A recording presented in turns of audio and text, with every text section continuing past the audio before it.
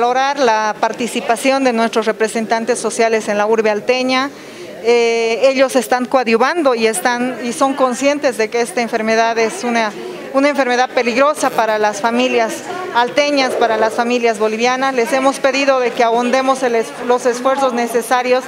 para que podamos eh, tener la posibilidad de eh, mejorar, por ejemplo, las restricciones que tenemos a través de los decretos y que también podamos eh, acompañar esta instrucción gubernamental que tienen los ministros, ¿no? Para poder eh, atender a la mayor cantidad de vecinos con eh, los servicios de salud en nuestro, en nuestro país y en nuestro departamento.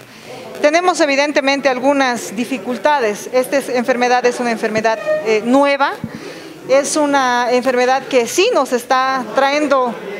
tal vez preocupación, pero en lo positivo, como muchos también lo han recalcado, miren, sin ninguna particularidad, eh, ni siquiera política, ideológica, nos hemos tenido que ver sentados en esta mesa para poder acompañar lo más preciado que tenemos en este momento, que es la población, que es la ciudadanía, que es su gente, que, es que son las familias.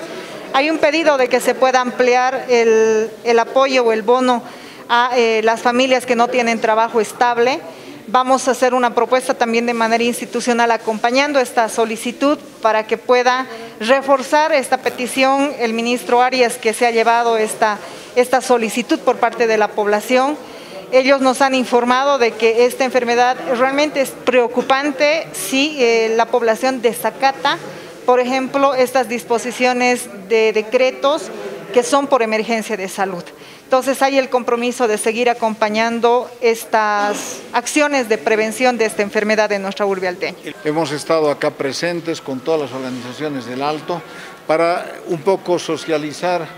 los efectos de la pandemia y como conclusión tenemos dos puntos importantes que ha planteado la comunidad del Alto respecto a las medidas económicas, a las medidas de contención y todo aquello, pero básicamente me corresponde como salud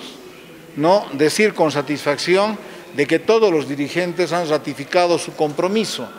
su compromiso de lucha y apoyo a la salud. Estamos adquiriendo más laboratorios, el Alto va a tener un laboratorio para coronavirus ya la próxima semana, hoy día hemos visto cómo se ha entregado y este laboratorio acá, La Paz va a tener otro laboratorio, los hospitales van a ser debidamente equipados, tenemos 500 respiradores que están llegando en el transcurso de los días